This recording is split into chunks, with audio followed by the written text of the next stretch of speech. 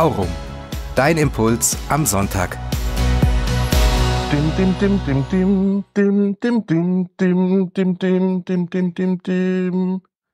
Ich singe nicht besonders gut, sagen die anderen.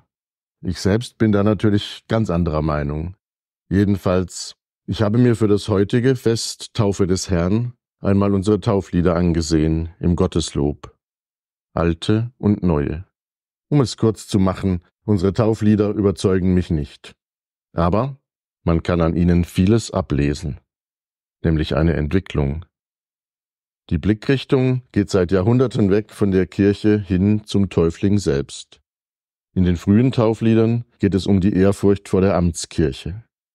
Das, was wir heute in der Taufe für wichtig empfinden, kommt gar nicht vor, nämlich, dass wir Anteil haben an Christi Sterben und Auferstehen und an den Gnadengaben des Geistes. Diese biblischen Aspekte der Taufe fanden erst nach Jahrhunderten Niederschlag in den zeitgenössischen Liedern. Die Taufe macht mir klar, auch wenn ich sie vielleicht als Kind ganz unbewusst empfangen habe, Christus ist mein Mittelpunkt.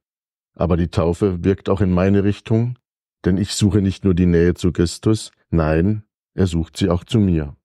Und so kann ich, so kannst du ganz selbstbewusst sagen, ich orientiere mich an Christus, ich bin auch sein Mittelpunkt. Deshalb bin ich glücklich und dankbar, dass ich getauft bin. Aber Jesus hat mir mit der Taufe auch einen Auftrag mitgegeben. Denn durch die Taufe bin ich Christ. Das heißt, ich muss und ich will die Gebote unseres Herrn leben und weiter verbreiten. Das ist meine Überzeugung, das trägt mich durch den Alltag und das soll auch andere tragen. Christus ist mein Schutzschild, mein Rückhalt, meine Hilfe, mein Gut gegen Böses und gegen böse Menschen. Auch im Übrigen gegen die Menschen, die denken, ich könne nicht singen. Segne dieses Kind und hilf mir ihm zu helfen.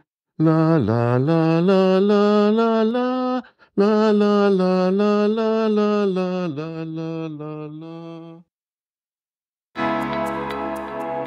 Bruder Michael Masseo, Kapuzinerkloster Salzburg.